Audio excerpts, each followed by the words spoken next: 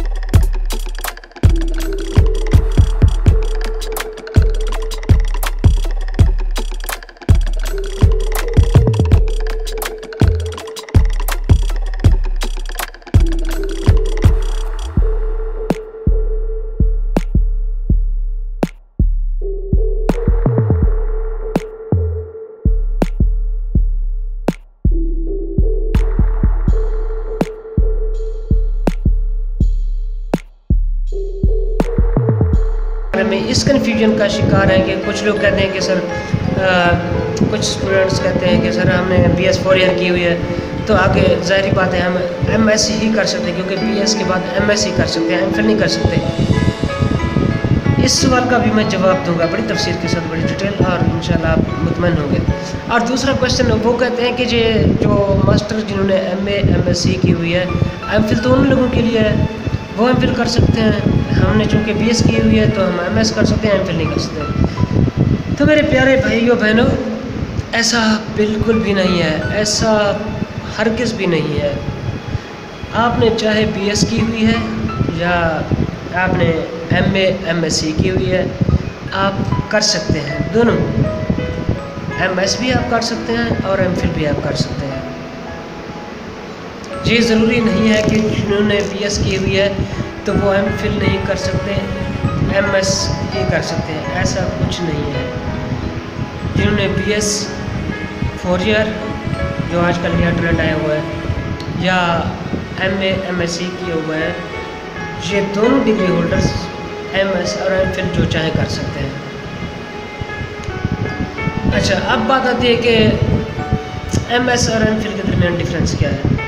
मेरे भाई, कोई ख़ास डिफरेंस नहीं है। एक चीज़ के ही दो नाम हैं। ये पीछे आप मेरे दरवाज़ा देख रहे हैं। इसको आप दरवाज़ा कह लें, चाहे इसको गेट कह लें जब हुआ पंजाबी में कह लें तो ये वही चीज़ है। अब इन में डिफरेंस क्या है? इनको दो मुख्तलिफ़ नाम क्यों दिए गए हैं? वो भी इंशाल्लाह मैं आपको बताता हूँ। आप मेरे साथ रहेंगे। मैं बड़ी डिटेल के साथ इंशाल्लाह एक्सपीरियंस बेस्ड नॉलेज आप तक शेयर करने की कोशिश करें होता जो है कि एम फिल जो है, वो थोड़ा सा ज़्यादा टाइम कंज्यूमिंग डिग्री है। क्योंकि पहले ज़माने में तो इतना नहीं था, लोगों के पास टाइम होता था तो वो एम फिल कर लेते थे। एम फिल के अंदर दो सेमेस्टर का अमूमन कोर्स वर्क होता है, जो आपको क्लासेस लेनी पड़ती हैं यूनिवर्सिटी जिसमें आप कर रहे हैं, दो सेमेस्टर का आप करेंगे कोर्स वर्क उसके बाद आपने करनी है रिसर्च वो रिसर्च आप अपने घर बैठ के कंप्यूटर पर लैपटॉप पर भी कर सकते हैं, लेकिन जो रिसर्च का असल तरीका कार है, जो आपका टॉपिक है, आपने फ़ील्ड में जाना है, उसके मतलब रिसर्च करनी है शवाद इकट्ठे करने हैं इंटरव्यूज़ कंडक्ट करने हैं, सारा कुछ करना है। ये बात दूसरी तरफ़ जाएगी तो लंबी हो जाएगी, फ़िलहाल मैं अपने क्वेश्चन पे रहने की कोशिश करूँगा कि एम करनी चाहिए या एम तो अगर आपके पास टाइम है और आप सर दर्द लेना चाहते हैं तो फिर आप मेरे भाई एम फिल करेंगे सर दर्द के साथ साथ एम फिल करने के लिए थोड़ी सी जो हमारे पाकिस्तान में ट्रेंड है, वो आपके अंदर ना नहीं होनी चाहिए। क्योंकि जो आप सुपरवाइज़र रखते हैं, वो बहुत ज़्यादा नखरे करते हैं, समझ लें, या तो दूसरी बात नखरों के अलावा उनके पास स्टूडेंट्स होते हैं, काफ़ी ज़्यादा। तो उन्होंने हर एक को जो कि गाइड करना होता है। तो इसलिए वो इतना टाइम नहीं दे पाते। वो उनकी गवर्नमेंट जॉब्स भी अमूमन होती हैं, उन्होंने वहाँ भी ड्यूटी करनी होती है। उसके साथ साथ उनके पास ये ज़रूरी नहीं है कि जिन यूनिवर्सिटी में वो पढ़ा रहे हैं, उनके पास स्टूडेंट्स उसी यूनिवर्सिटी के ही रिसर्च के लिए आते हैं। ऐसा बिल्कुल नहीं है। वो स्टूडेंट जहाँ से चाहे, अगर वो सुपरवाइज़र राज़ी होते हैं डॉक्टर साहब तो उनसे अप्रूव करके वो उनको अपना सुपरवाइज़र रख सकते हैं। तो इसलिए उनके अज़ीज़ कारब या सिफारशी लोग, या पैसे वाले लोग वो भी सुपरवाइज़र रख लेते हैं ऐसे लोगों को। तो मेरे भाई, अगर आपके पास ये चीज़ें हैं, पैसा, सिफारिश अप्रूव या जिस सब्जेक्ट में आप एम करने लगे हैं, उस सब्जेक्ट का आपका कोई डॉक्टर अज़ीज़ रिश्तेदार अपने दोस्त, कोई करीबी है तो आप ऐसा कर लें अब ऐसा करने का फ़ायदा क्यों? भाई, अगर इतनी सरदर्दी लेनी है तो सीधा सीधा एम एस कर लें जान छूट जाए। ऐसा क्यों? ये इसलिए कि अगर आप आगे पीएचडी करना चाहते हैं, होती तो खैर किसी किसी से है लेकिन इरादा सबका होता है स्टार्ट के अंदर कि मैं पीएचडी करूँगा, मैं ये करूँगा, मैं वो फॉर एग्ज़ाम्पल अगर आप कभी इरादा रखते हैं, अभी यंग हैं तो आप एम फिल कर लें थीसिस के साथ। तो आपको ये वैसे कोई लाजिक तो नहीं बनती क्योंकि तरक्की कम वाले यूरोपियन कंट्रीज़ में वहाँ पर एमएससी होती है एम नहीं होती। तो मेरे भाई, अगर आप एम कर लेते हैं तो यूनिवर्सिटी ये ऑब्जेक्शन नहीं ला सकती कि, लगा सकती कि आपके पास चूँकि पहले से रिसर्च मौजूद नहीं है। आपने रिसर्च नहीं की हुई तो हम इसलिए आपको दाखिला नहीं देते। हालाँकि ये कोई रीज़न नहीं है, लेकिन अक्सर यूनिवर्सिटीज़ ऐसा करती भी हैं। तो इसलिए बेहतर है आप एम फिल कर लें। अच्छा जी एम एस किन स्टूडेंट्स को करनी चाहिए। किन लोगों को करनी चाहिए एम एस मेरे भाई, उन लोगों को करनी चाहिए जो मेरी तरफ़ बेचारे हैं। जिनका आगे पीछे कोई नहीं है। सीधे साधे पढ़ने वाले लोग हैं। सिफारिश कोई नहीं है पोलिटिकल पावर कोई नहीं है। पैसा वो इतना नहीं है कि वो तो उनको करनी चाहिए एम एस उसमें क्या होता है, उसमें आपकी मुकम्मल तौर पर क्लासेस होती हैं। कोई रिसर्च वर्क आपको नहीं करना पड़ता। ये बाद यूनिवर्सिटीज़ में अब ये ट्रेंड आ चुका है, थोड़ा सी कोई रिसर्च होती है। कोई एक दो पेजेस की, दस पंद्रह पेजेस की, वो छोटा सा टॉपिक देते हैं, ताकि अगर आप कभी पीएचडी में दाखिला करें तो आपको आइडिया होती है रिसर्च किस तरह होती है। उसका कोई खास इतना मसला नहीं होता। प्रॉब्लम नहीं होता वो मुतल टीचर जो आपको रिसर्च मैथडोलॉजी पढ़ा रहे हैं, वही आपसे कंडक्ट करवाते हैं, वही सारा कुछ करते हैं, उसका कोई इशू नहीं होता। तो मैं उन स्टूडेंट्स को या जो मेरे भाई हैं, जो किसी जॉब करते हैं, जिनके पास इतना टाइम नहीं है, कोई पावर नहीं है, जो अपनी अनामे भी हैं कि सुपरवाइज़र साहब की मिलते नहीं कर सकते गिफ्ट्स नहीं दे सकते उनके आगे पीछे नहीं फिर सकते इंतजामिया के साथ जो है ना वो एक मिनट समाजत करनी पड़ती है, वो ये वो वाले तरीके नहीं जो अपना सकते ब्लाउज बनते हैं। उनको मेरा मशवरा है वो एम कर ले, सीधा साधा अपनी डिग्री करें। अच्छा चलें, ये तो होगी बात। अगर आप कुछ स्टूडेंट्स कहते हैं कि हमने एमएस कर ली, ठीक है जी। अगर अब आगे पीएचडी करनी हो और ऑब्जेक्शन लगा दें यूनिवर्सिटी की, आपने रिसर्च नहीं की हुई तो आपको हम दाखिला नहीं देते उसका भी एक सोल्यूशन है। जब भी आपका पीएचडी करने का आप कभी भी रिसर्च कर सकते हैं। एमएस की डिग्री पर ही।